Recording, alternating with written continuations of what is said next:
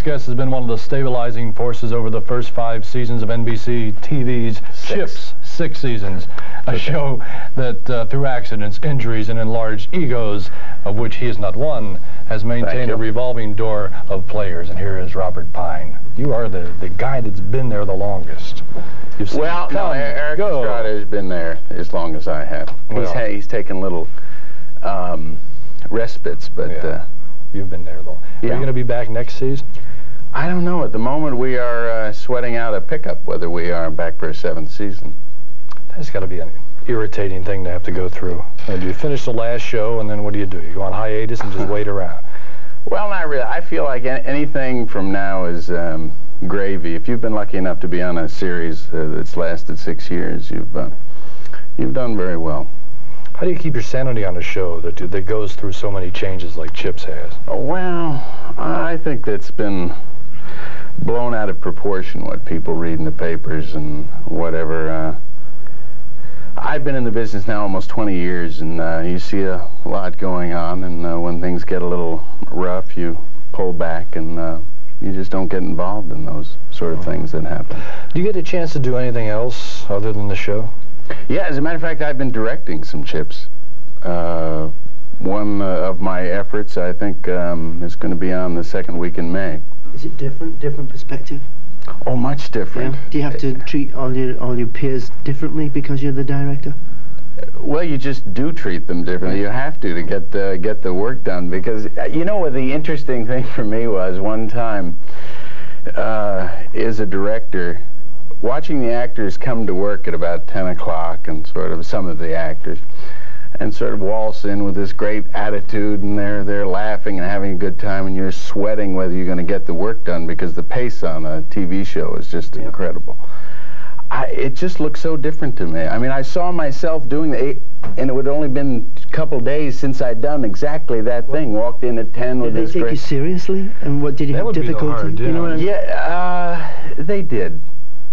I tell you, the, the nicest thing, the nicest way to direct is uh, being an actor on a television series where you've been on it for quite some time because everybody is pulling to make it happen Sure. for you. They just will not let it fail for Great, you. It's almost a fail-safe uh, situation to be in, which is very So you get a lot of support from the, from Oh, the cast, absolutely, even though you switched roles on them. Absolutely, they really are very. Very you find yourself, though, when you get back and just being in front of the camera as an actor and somebody else is directing, that you suddenly nudge the guy next to you and say, well, I would have done it the other way?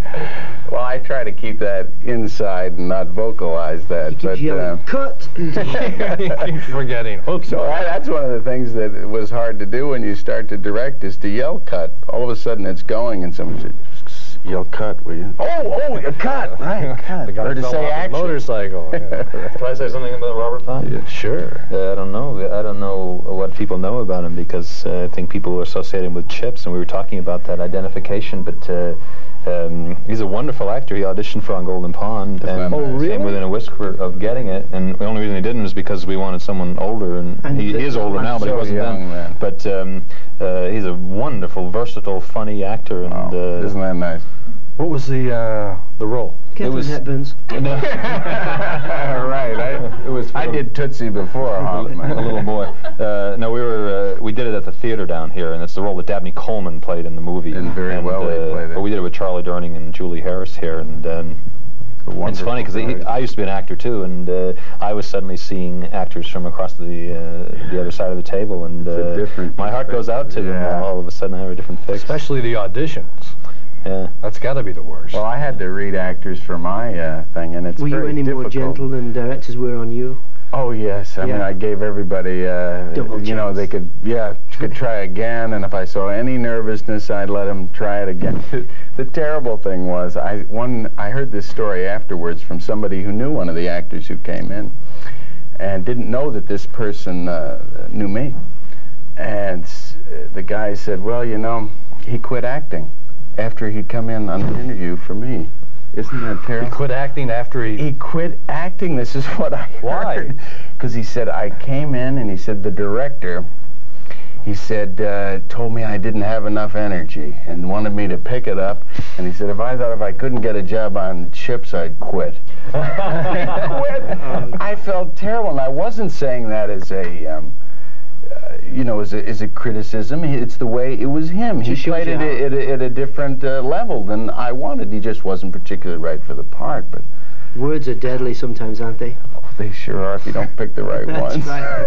Now, you've been doing it six years. Yeah. Do you ever get bored with the same role week after week, day after day? Sure. I mean, I think any actor that would say they didn't get bored is um, is not telling the truth. Um, you know, you've done it for this long, but the the way it makes it palatable, they pay you enough money down the road that you'd be I'd be foolish to want to leave. I mean, it's going to end on its own accord soon enough. So, um, and I'm happy to do it. It's been very kind to me, and uh, And of course, Chips uh, is one of those successful shows in syndication, indeed it is. which will be around a long time. So next I time you audition so. for Ernie, you know, you can, if you don't get it, Maybe well, Ernie will be auditioning. for- Not if, not if you call me Ernie, though. No, that's right. Ernest. Ernest. Sorry. okay. I'm going to start calling you Grammy. Point taken. By the way, I want to uh, thank Bedfellows of Studio City that loaned us the large bed that we used. we And, were uh, disappointed that we went on. Yes, I was kind of bed hoping there. all Well, four you of us notice we only did bed. that with no with the the two girls. Uh, we, we we got some things figured out here. Tomorrow's guest, the star of General Hospital, Tony Geary, Kevin McCarthy from the new series Amanda's, comedian and ventriloquist Jay Johnson, two of the authors from a soon-to-be a best-selling book entitled Lotus Land, and our resident stargazer Joyce Jillson. See you then, and thanks for being with us.